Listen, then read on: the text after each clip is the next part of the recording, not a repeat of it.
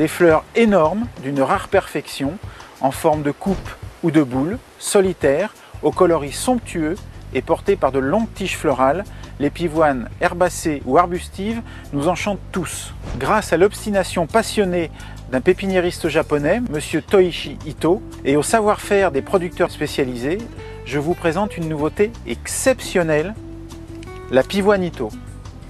Elle est le fruit de la fécondation d'une pivoine arbustive par le pollen d'une pivoine herbacée.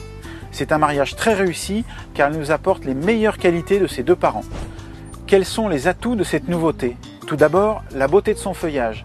Il a l'élégance de celui de la pivoine arbustive et il va rester beau jusqu'en automne. Mais c'est surtout la beauté exceptionnelle de ses fleurs qui est un vrai plus. On y retrouve tous les coloris connus de la pivoine. Le jaune, le cuivre, le blanc, le rouge, le rose, avec des dégradés et des panachures. Et on observe même, parfois, des variations de couleurs d'une année sur l'autre. De plus, leur floraison est particulièrement longue, car elle peut durer plus d'un mois, avec parfois une remontée à la belle saison. Les tiges sont solides et ne croulent pas sous le poids des fleurs. Et enfin, c'est une plante très vigoureuse qui deviendra adulte beaucoup plus rapidement qu'une pivoine arbustive classique. Vous profiterez ainsi plus rapidement de votre investissement.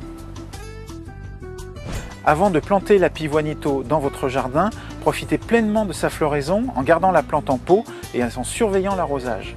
Il ne faut jamais laisser sécher la plante et toujours maintenir la motte légèrement humide.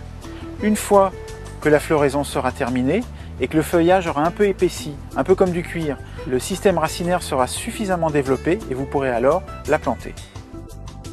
Comme toutes les pivoines, c'est une plante peu exigeante. Il lui faut juste une bonne terre de jardin, pas trop sèche et bien travaillée en profondeur. Vous lui choisirez un emplacement à mi-ombre où les rayons du soleil l'épargneront aux heures les plus chaudes de l'après-midi. Comme ses deux parents, la pivoinito va fleurir en mai, perdre ses feuilles en hiver et redémarrer au printemps. Elle va mesurer 1 mètre de haut et couvrir 1 mètre carré au sol. Prévoyez-lui donc une bonne place.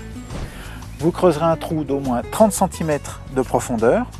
Vous réaliserez un mélange avec un amendement comme la biomarine et du terreau Plus belle sœur à la terre plantation au jardin. Vous veillerez à ce que la motte ne soit pas enterrée de plus de 2-3 cm car comme toutes les pivoines, la pivoinito fleurira peu ou pas si elle est enterrée trop profondément. Et enfin, vous terminerez en arrosant copieusement. Son feuillage reste beau longtemps. Vous attendrez donc les premières gelées, c'est-à-dire décembre, pour rabattre son feuillage à 10 cm du sol. Cette collection de pivoinito va s'enrichir chaque année.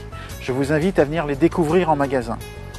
Cette plante rare est une plante d'exception, très haut de gamme, qui va donner un résultat fantastique au jardin.